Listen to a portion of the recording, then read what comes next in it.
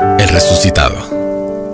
La resurrección es la esperanza de todo cristiano, y Jesús quiso dejarlo como un hecho palpable con su propio testimonio de resurrección. No era necesario que Él muriera y resucitara al tercer día para subir a los cielos. Él pudo suprimir todo ese dolor y subir directo al cielo, pero quiso resucitar para validar esa esperanza, para darle fuerza a nuestra confianza en sus promesas, para confirmar en su cuerpo y en su alma la fe del cristiano. La resurrección es en el resucitado que encontramos valor y constancia a las virtudes de la fe, la esperanza y el amor. Es la resurrección de Cristo que nos da valor, fortalece confianza para no solo creer, sino creerle a Él. Quizás hoy como ayer sea difícil creer en la resurrección. Quizás dudemos, desconfiemos, nos llenemos de temores cuando vivimos de cerca la muerte. Y eso pasa porque no terminamos de creer en la resurrección. Nuestra mente se desconcierta, sentimos miedo, dudas, temores, incertidumbre. Parece un cuento de hadas que es muy bueno para ser verdad. Es quizás lo que sintió el apóstol Tomás. Él había visto cómo conducían a Jesús al pretorio. Aun cuando él huyó por miedo, seguro estuvo pendiente y escuchó de la muerte atroz de Jesús. Y tres días después, le dicen que resucitó y que se les presentó a los discípulos. Y él, en una declaración que quedó plasmada hasta la eternidad, dijo, Hasta que no vea la marca de los clavos en sus manos, no meta mis dedos en el agujero de los clavos, y no introduzca mi mano en la herida de su costado, no creeré. Juan capítulo 20, versículo 25.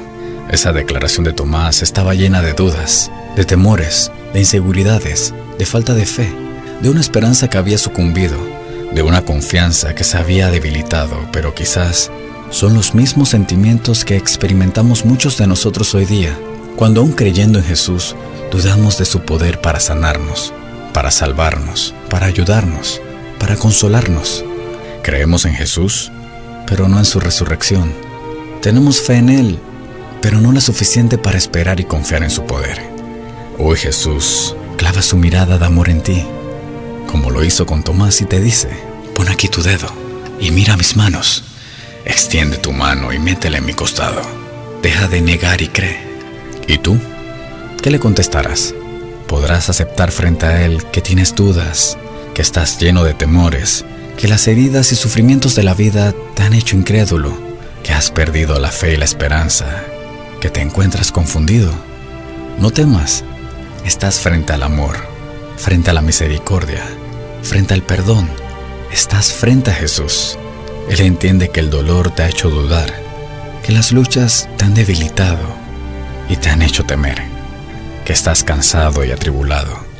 Siente su consuelo, siente su mirada compasiva, siente su amor que te abraza, siente su bondad que te perdona, siente la presencia del resucitado en tu vida. Cuando logres sentir su presencia, estarás listo para exclamar como Tomás, Tú eres mi Señor mi Dios. ¿Qué es lo que sueñas tú que mueve tu interior? Que te llevó a la cruz como es tu corazón. ¿Por qué dejaste el cielo? ¿Cuál es tu pasión? Quiero entenderlo y conocer tu corazón. Y al conocer tu corazón, mi mundo se hace pequeño, se desbaratan mis sueños. Y al descubrir tu gran amor, cobra sentido mi vida, todo problema se olvida y al conocer tu corazón, mi mundo se hace pequeño, se desbaratan mis sueños.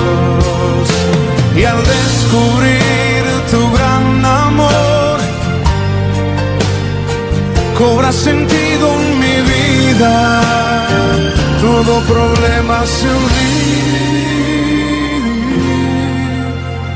love.